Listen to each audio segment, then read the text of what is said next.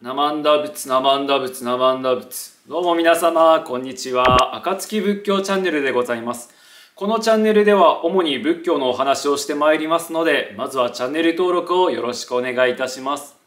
さて今回はおすすめ仏教書。月に1回私がぜひ皆様に読んでいただきたいというおすすめの仏教書を語っていくという企画でございます。さて今回ご紹介する本はこちらです。千曲文庫から出ております。仏教100話増谷文夫先生。はい、えー、増谷文夫先生がお書きになられました。仏教100話という本をですね今回はご紹介させていただこうと思います。えとてもですね、まあ、コンパクトで読みやすい一冊なんですが、まあ、内容はこうしっかりしていますし私にとって大切な一冊でございます。増谷先生の本はね他にもおすすめしたいものがたくさんございますのでまたいずれ動画でアップするかもしれません。さてこの本なんですがお釈迦様釈尊のですね生涯を通して仏教の教えをですね伝えてくださっている一冊です。ずっと物語として進んでいくわけではなくて経典の中に書かれていることがですね1話完結1つの見開きで完結して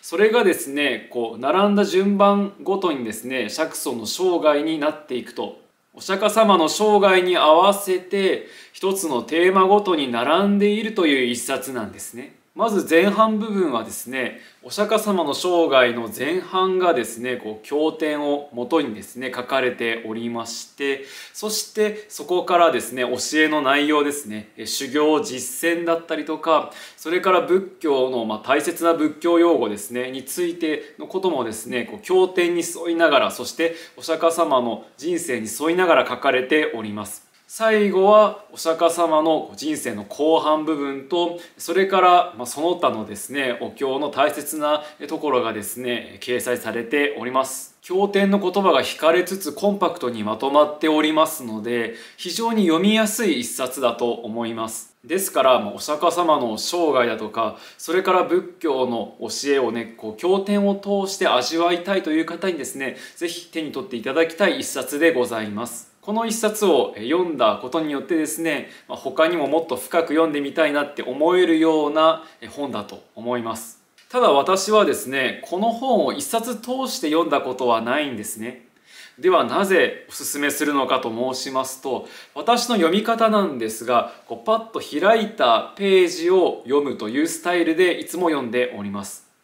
この本を読むシチュエーションなんですが私が法話だったりとかそれから仏教に関する行事の控え室だったりとか待ち時間にこの本をいつも読ませていただくんですね。浄土真宗の真宗の話をするという時にでもですねこの本を読んでいるとこうすごい発見があったりとかそれから真宗ってやっぱり仏教お釈迦様のですね生涯そしてお釈迦様の教えをもとにして、え仏教なんだなっていうことをねすごく感じるんですよ。新宗の教え、ね、信心だとか、ね、本願だとかそうやってお話ししようとしていることに通じるものがですねやはりお釈迦様の生涯の中に見いだせるんだなとこの本を読んでいることによってですねこうはっと気づかされるというか仏教の根っこにあるものを再確認させていただくとそういったですね読み方もおすすめできます。最初から順番に通して読んでいくのもいいんですけどパッと開いたページからですね新たな発見ハッとさせられる言葉が飛び込んできますので